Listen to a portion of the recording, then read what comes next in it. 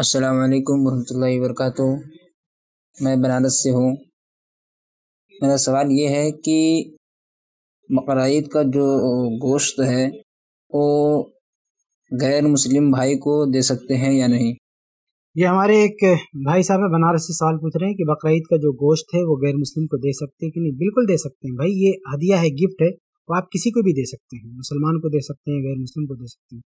तो ऐसा नहीं है कि आप इसको सिर्फ़ मुसलमान ही को देना है। ऐसी कोई पाबंदी नहीं है। हदीस, कुरान हदीस में। कुलू है भाई, आप इसको खिलाओ, किसी को भी आप खिला सकते हैं।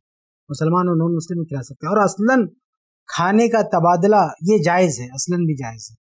यानी आप गैर मुस्लिम को कुर्बानी के अलावा भी आप खिला सकते हैं। और उसके यहाँ आप खा सकते हैं। उसकी दावत आप कबूल कर सकते हैं। अल्लाह के नबी ने गैर मुस्लिम की दावत कबूल की है।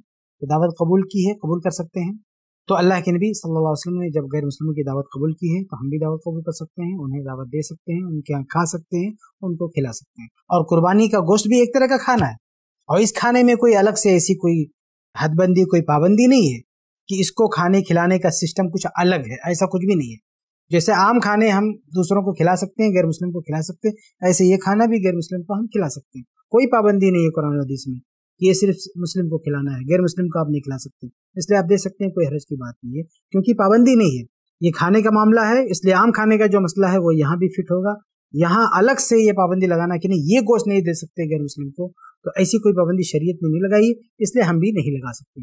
उम्मीद है कि आपको जवाब मिल गया होगा। ऐसे ही और वीडियोस बनाने में हमारी मदद करें। आई प्लस टीवी को ज़रूर डोनेट करें।